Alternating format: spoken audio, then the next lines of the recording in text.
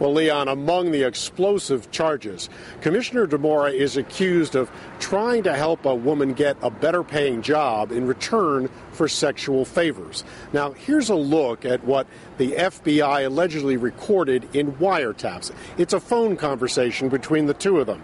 An unidentified woman tells Dimora, referencing their sexual relationship, it's, quote, a wonderful thing. Dimora responds, what an unexpected pleasure. To which the woman responds, uh, good things come to those who wait. Now, federal prosecutors say the two allegedly met in a hotel room in Independence, and in the weeks that followed that meeting, uh, Commissioner Dimora is accused of going to great lengths to get her a better paying job.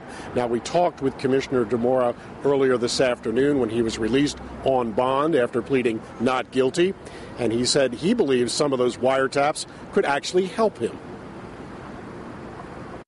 Those phone conversations will work to my benefit uh, for most part. I really believe that uh, I've always been above board. You're not going to. I'm not worried about the phone taps. Uh, the phone taps, as you folks in the media know, when you give a quote, you can take it out of context or you can interpret it. A phone conversation five different ways. Now, the bottom line in all of this is is that Commissioner Dimora tonight faces 28 criminal counts.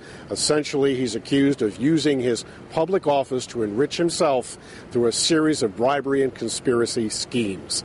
Now, he told us today that he has no intentions of resigning as commissioner. He will take a one week leave of absence, however.